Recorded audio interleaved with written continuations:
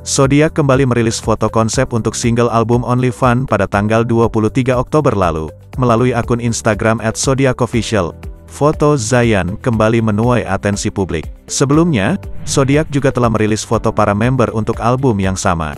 Namun dengan konsep yang sangat berbeda. Jika sebelumnya Zodiac menonjolkan nuansa segar dan ceria, maka kali ini para member tampil dengan outfit yang elegan, sehingga membuat mereka terlihat lebih dewasa dan berkarisma. Pada foto konsep kali ini, Zayan tampil menawan dalam balutan blazer panjang berwarna krim, yang dipadukan dengan celana putih polos dan kemeja bermotif. Sontak saja foto tersebut menuai banyak reaksi dari warganet. Banyak fans yang memuji ketampanan Zayan, dan menyebut pria asal Indonesia itu seperti seorang aktor yang sering mereka saksikan di drama Korea. Seperti yang kita ketahui, Zodiac kembali comeback dengan single album Only Fun.